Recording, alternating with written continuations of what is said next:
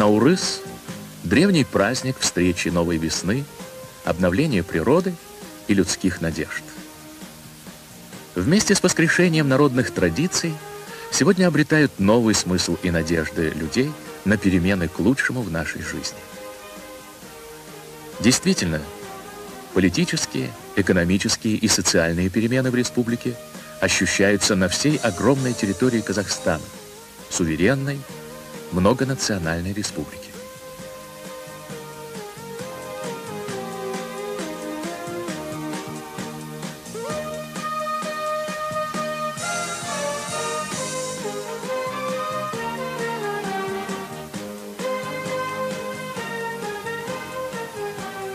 Введение института президентской власти в республике и утверждение политического и экономического суверенитета направлены на защиту прав и свобод и безопасности граждан, на улучшение жизни народа. Новые экономические отношения в промышленности и сельском хозяйстве ориентированы на социальные приоритеты, на удовлетворение самых насущных потребностей людей – Плоды обновления социально-экономических структур скажутся не сразу, но уже сегодня ростки новых экономических отношений видны повсюду. Предприятия переходят на самофинансирование и хозрасчет. Например, на Павлодарском тракторном заводе не только отдельные участки, но большие цехи, такие как кузнечно-прессовый, получили относительную самостоятельность Рабочие сами устанавливают режим работы. При сокращении числа работающих объем продукции увеличился, а качество стало заметно лучше.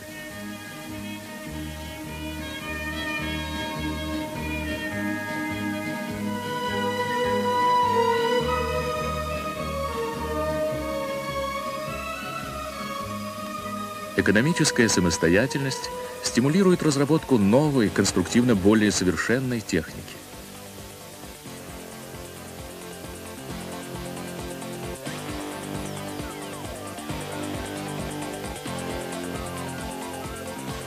К новой модели многофункционального трактора Т-6 Павлодарского завода проявляют интерес многие зарубежные фирмы. И на традиционную продукцию павлодарцев гусеничные машины спрос велик. С переходом на хозрасчетные отношения заработки рабочих стали больше. Появилась возможность на свои средства строить многоэтажные дома и коттеджи по индивидуальным проектам. Детские сады большей комфортности, чем прежде. Зоны отдыха для заводчан.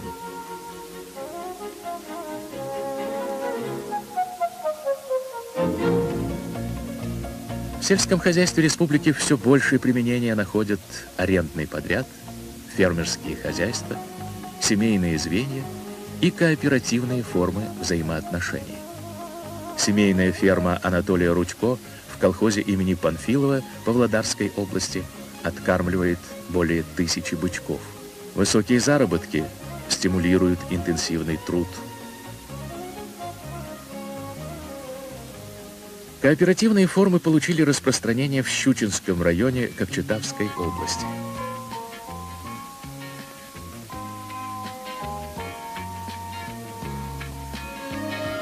Хозяйство района производители сельскохозяйственной продукции и ее переработчики объединились под крышей агрокомбината «Боровое».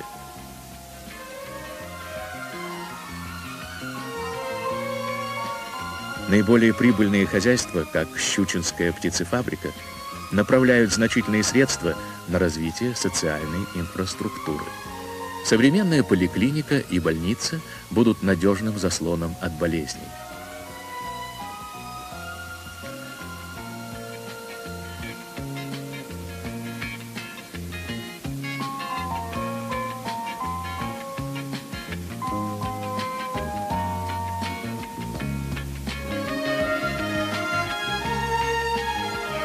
Здоровье тружеников – залог экономического процветания предприятия.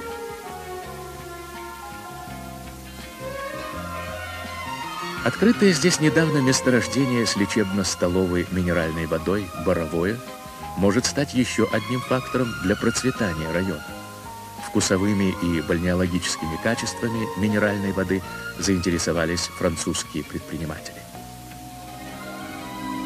Расширение самостоятельности предприятий с принятием законов о земле, предприятиях повсеместно вызывают оптимизацию всех структур управления и производства. Подтверждает это и пример объединения проектирования и строительства в Кокчетаве.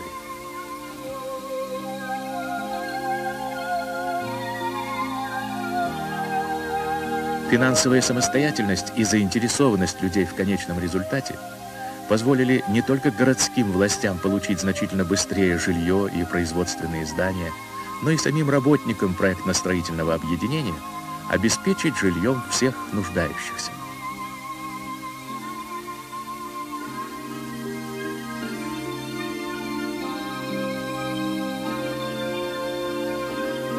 Здесь нет проблем и с обеспечением детскими садами.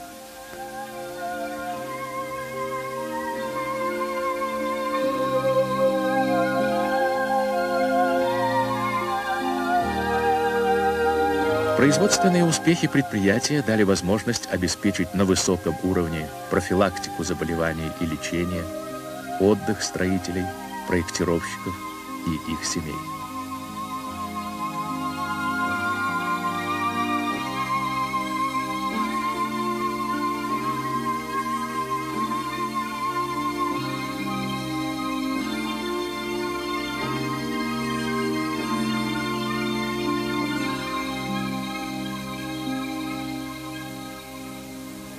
Казахстан, обретая экономический суверенитет и самостоятельность, расширяет рыночные отношения, заключает взаимовыгодные договоры как с союзными республиками, так и с зарубежными странами. Большим спросом на мировом рынке пользуются волочильные и трубопрокатные станы Алма-Атинского завода тяжелого машиностроения. Сегодня повсеместно возникают акционерные и совместные предприятия, такие как казахско-китайская «Акбулак», выпускающая бытовые пневмотермосы, пользующиеся высоким спросом у нас в стране. И собственных товаров объединение «Кзылту» выпускает немало. Стиральная машина «Бобек» – мечта многих хозяев.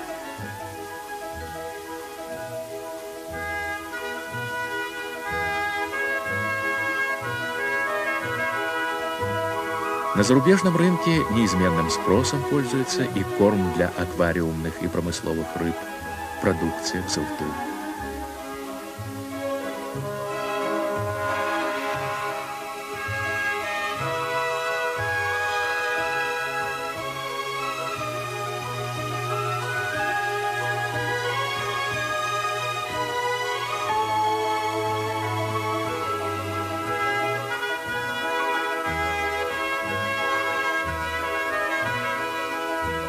Немало сувенирных и бытовых товаров может предложить это предприятие, как и многие другие предприятия республики.